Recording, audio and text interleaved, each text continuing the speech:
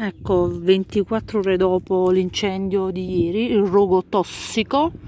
c'è ancora una puzza inenarrabile, puzza di morte, di morte, tutto nero,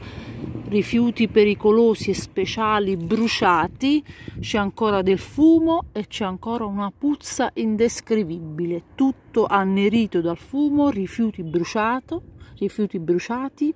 c'è puzza di morte qui in questo luogo dove dovrebbe esserci semplicemente il parco metropolitano